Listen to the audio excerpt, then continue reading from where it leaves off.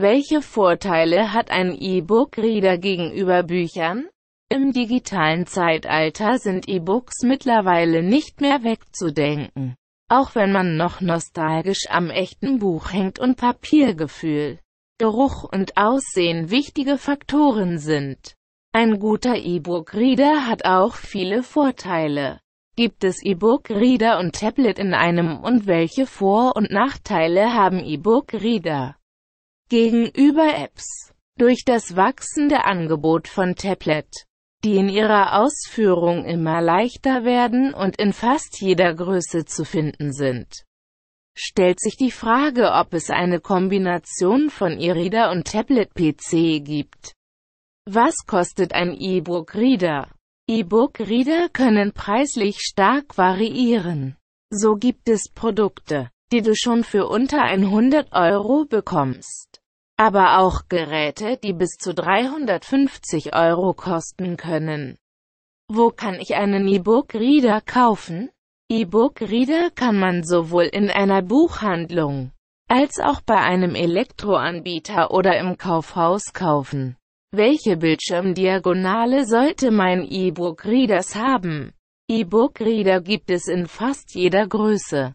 Die meistverkauften sind zwischen 6 und 10 Zoll groß. Welche Formate kann ein E-Book-Reader lesen? Das bekannteste Dateiformat unter E-Books ist EPUB.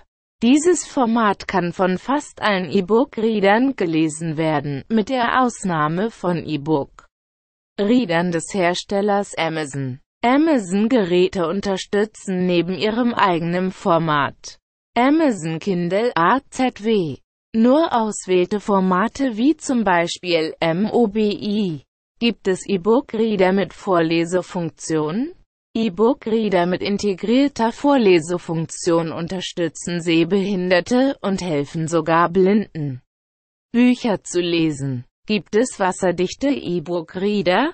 Viele Hersteller rüsten ihre E-Book-Reader immer mehr auf und begeistern mit Produkten, die zwar nicht komplett wasserdicht sind, jedoch Schutz vor nassen Händen und Spritzern bieten.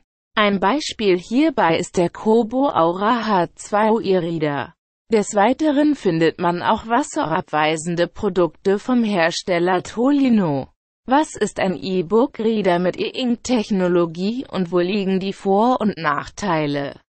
E-Ink ist ein Markenname der E-Ink-Kooperation und wird als Synonym für elektronisches Papier verwendet. Unter E-Book-Readern mit E-Ink versteht man also Reader, dessen Bildschirme mit der E-Ink-Technologie ausgestattet sind. Wann sollte ich einen E-Book-Reader mit Farbdisplay in Erwägung ziehen und welche Vor- oder Nachteile gibt es? Ein E-Book-Reader mit Farbdisplay eignet sich vor allem für Nutzer, die PDF-Dokumente und weitere multimediale Inhalten lesen und öffnen möchten.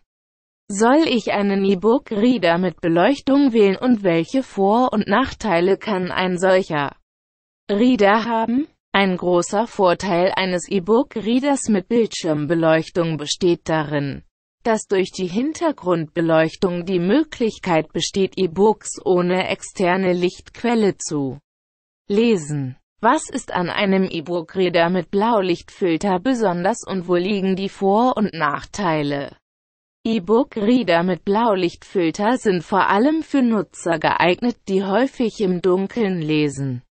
Bei E-Readern mit hohem Blauanteil wird der Mensch blauem kurzwelligen Licht ausgesetzt und schüttet nicht genügend Schlafhormon Melatonin aus, um den Müdigkeitsprozess einzuleiten. Inwiefern unterscheidet sich ein E-Book-Reader mit HD-Auflösung von anderen Readern und gibt es dabei Vor- und Nachteile? E-Book-Reader mit HD ist gleich High Definition, unterscheiden sich in der Auflösung der Anzeige. So erhält man bei HD-Produkten ein glattes Schriftbild. Der Lesegenuss wird durch die scharfe und deutliche Darstellung erhöht. Welcher E-Book-Reader war der erste auf dem Markt? Die Geschichte des E-Book-Readers geht auf 1990 zurück. Als Sony Data Discman auf den Markt brachte, Dieses Gerät diente dazu Nachschlagewerke in elektronischer Form lesen zu können. 1999 erschien ein E-Book-Reader der Firma Nuvo Media. Jedoch ohne Erfolg. In den weiteren darauffolgenden Jahren kamen vereinzelt weitere Modelle auf den Markt. So auch der erste Reader mit E-Ink-Technologie in Japan. Wie ist die Rechtslage in Bezug auf Lizenzen und Kopierschutz bei Verwendung eines E-Book-Readers? E-Books sind mit einem Kopierschutz versehen und werden oft in geschlossenen Systemen vertrieben. So unterstützen mache E-Book-Reader nur bestimmte Formate und stellen damit sicher, dass nur ausgewählte Bücher gelesen werden können. Der Kopierschutz von E-Books wird als DLM ist gleich Digitalreizmanagement bezeichnet. Wie ökologisch ist ein E-Book-Reader? für die Herstellung eines Bestsellers mit einer Auflage von Z. B. Einer Million Bücher mit je 250 Seiten werden durchschnittlich 12.000 Bäume gefällt. Des Weiteren werden für die Weiterverarbeitung, wie Druck und Verrieb, Wasser und Energie verbraucht. Der weltweite Buchdruck hat damit einen starken Einfluss auf die Produktion von CO2 und somit auch für den Klimawandel